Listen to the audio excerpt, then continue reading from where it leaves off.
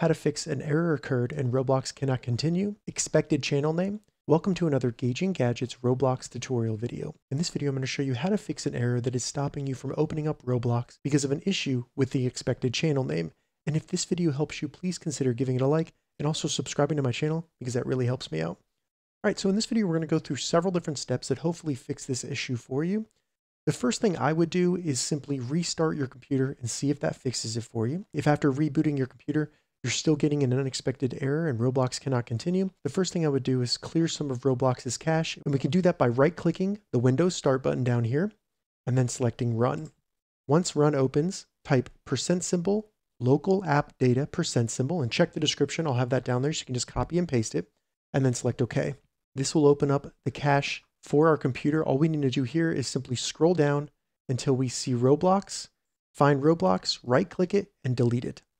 Don't worry about deleting this. This is only temporary data. So now that we've deleted Roblox's cache, we can close this window. Now that we've deleted the cache, go back to roblox.com, try to open up the game that you wanted to play.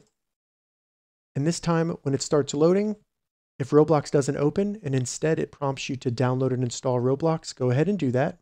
So select download and install, save the Roblox player installer, and then go ahead and open up the installer. When you open up the installer, it should start installing Roblox on your computer. Then once it's installed, we can go back to Roblox, go ahead and try to open up a game.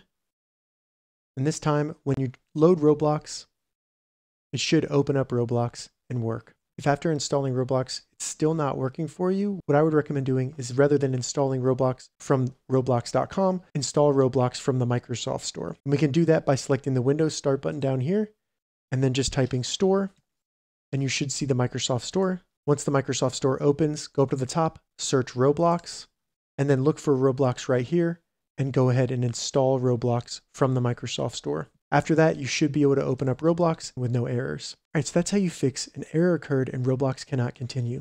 If you have any questions about this, leave a comment below. I'll get back to you as soon as I can. If you'd like to see more Roblox tips and tutorials, check the links in the description. If this video helped you, give it a thumbs up, and please consider subscribing to my channel, Gauging Gadgets for more gadget reviews and tech tutorials. Thank you so much for watching.